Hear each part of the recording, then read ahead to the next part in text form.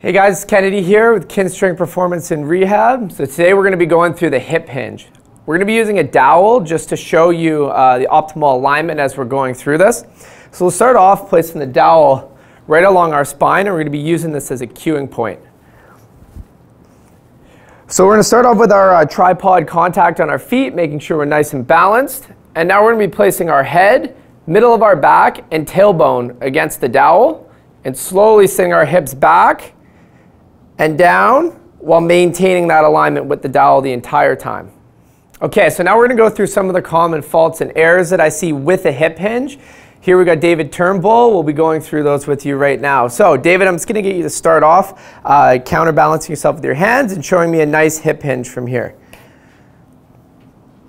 Okay, so what you're seeing with David now is the center of gravity changing on his feet and starting to lift his toes up as he goes back. So we want to make sure we maintain that nice tripod contact the entire time and really lengthening that posterior chain.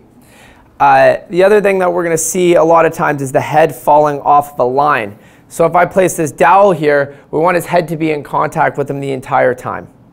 Aside from that, we want to make sure we're not rounding our lower back into here or arching our lower back as we sit downward. And you'll see that with the dowel there. So I want to maintain this nice alignment and now hinge back up as we go through that exercise.